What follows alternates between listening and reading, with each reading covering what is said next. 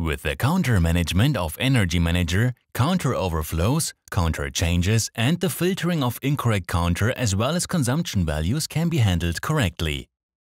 Gaps in the recorded counter values are automatically filled by linear interpolation.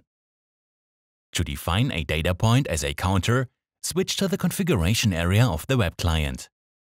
There, the list with the available data points can be opened.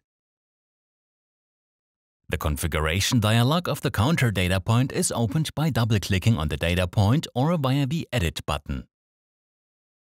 It is important that the appropriate category is selected. Then click on the tab of the counter. Via the plus icon, a new counter definition is created. All counter options are summarized there. First, the installation date of the counter must be selected via the calendar. The counter is only active from this date. Afterwards, the converter constant can be changed. If the counter has an overflow value, this can be entered here.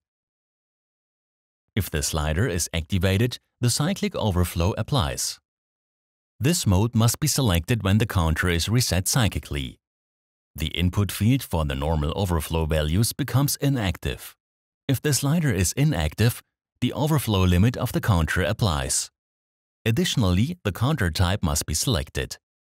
A purely ascending counter can be selected, or a counter can be used in both directions. In the second case, the overflow settings are not taken into account.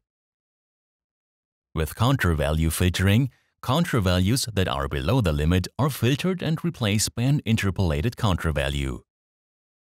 When filtering the counter value difference, consumption value, this is corrected if the count value difference is above or below the permissible range. To illustrate the counter management, a second data point is created, but with filtering and cyclic overflow switched off. The overflow value is now 599. Which means in this example the counter can count up to 599 and is then reset. The filters are now switched off. The filtering of the counter value and consumption value as well as their correction possibilities are shown in the following dashboard. Counter value outside the counter lower limit. Negative consumption peak below the lower consumption limit. Positive consumption peak above the upper consumption limit several positive consumption peaks in a row. A downward offset of the counter value with subsequent constant values. Interpolation of gaps in the counter values. If an overflow occurs during the gap, this is also taken into account during interpolation. Offset downwards with subsequent increasing counter values. Offset upwards with subsequent increasing counter values. Siemens Ingenuity for life.